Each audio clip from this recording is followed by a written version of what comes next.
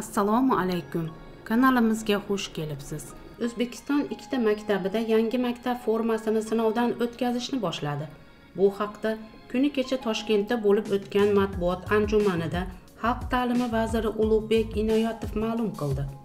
Uning so'zlariga ko'ra yagona maktab formasini joriy etish bo'yicha sinov poytaxtning 91 sonli va sirdaryo viloyatining 4 sonli maktabida o'tkazilmoqda. Xalq ta'limi vaziri mahalliy dizaynerlar tomonidan ishlab chiqilgan 30 xildagi o'quvchilar formalaridan boshlang'ich o'rta va yuqori sinf o'quvchilariga mo'ljallangan to'rttadan to'plamlar tanlab olganliklarini aytib o'tdi.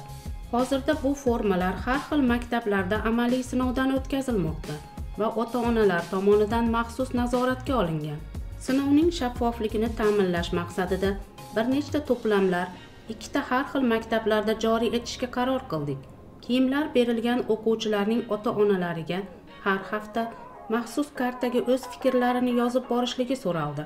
Ushbu forma bolalar uchun qanchalik qulayligi va chidamliligini bilib olishimiz zarur.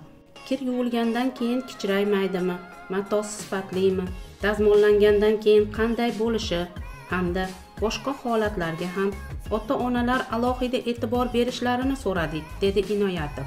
Vazirning so'zlariga ko'ra o'quv yili yakunida ushbu sinov yakunlanadi. Amalga oshirilgan ishlar natijasi bo'yicha mutaxassislar qaysi forma yangi o'quv yilidan maktablarda keng joriy etilishi aniqlanadi. O'zbekiston maktablarida yagona maktab formasini joriy etish tashabbusini prezident shavkat mirziyoyev taklif qilgandi.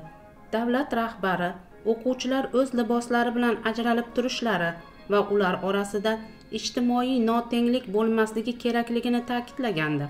Kam ta'minlangan oilalar uchun maktab formasi narxini bo'lib bo'lib to'lash imkoni ham mavjud bo'ladi. Ular ellik foizini boshidan qolganini o'quv yili davomida to'lashlari mumkin bo'ladi.